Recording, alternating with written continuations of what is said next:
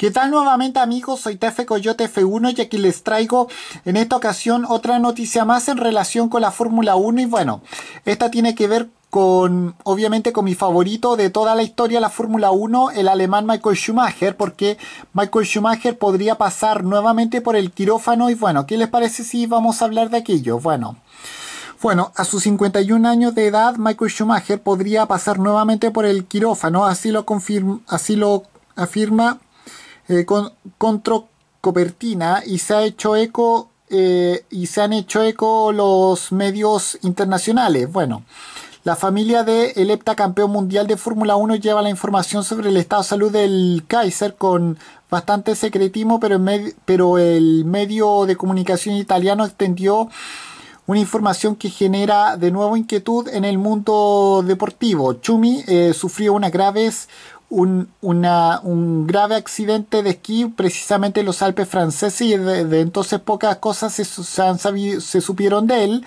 Eh, salvo que tuvo lesiones cerebrales graves producto de la caída. Bueno, Philip Menage, Menage eh, el genio de la cardiología que trató a Schumacher con células madres procedentes del corazón se encargará de otra ronda de transfusión. El objetivo, y esto a lo que, lo que señaló él mismo, el objetivo es regenerar el sistema nervioso central de Michael. Bueno, por su parte, el doctor Nicola Ashari, neurocirujano del Hospital Velaria de Bolonia, advirtió que el ex corredor de las escuderías Ferrari y Mercedes sufre de atrofia muscular y osteoporosis. Y esto fue lo que, y esto fue lo que se dijo. En los últimos 20 años la ciencia ha progresado enormemente en el campo del tratamiento con célula madre, pero eso no cambia el hecho de que todavía sabemos poco sobre el cerebro humano. No podemos predecir qué resultados traerá el tratamiento. Bueno,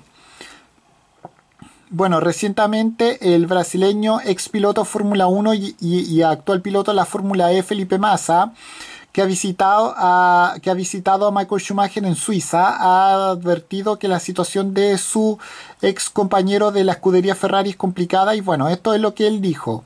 Sé cómo sé cómo esta tengo información, mi relación con él ha sido muy cercana con su mujer Corina, menos porque porque ella no iba mucho a las carreras, creo que lo principal de todo esto es que sabemos que su situación no es fácil, que está en una fase difícil, pero debemos respetarlo como, como he hecho con la familia, no le gusta divulgar ninguna información y quién soy yo para hacerlo. Y bueno, bueno, eh, bueno, eh, espero que este, el quirófano por fin pueda... Eh, espera, espero que por fin el quirófano pueda hacer algo nuevamente por Schumacher y espero que él pueda, eh, pueda, pueda recuperarse pronto y volver eh, a ser el, el mismo que era antes del accidente de esquí. Bueno, con esto me despido. Adiós, que me fuera. Chao.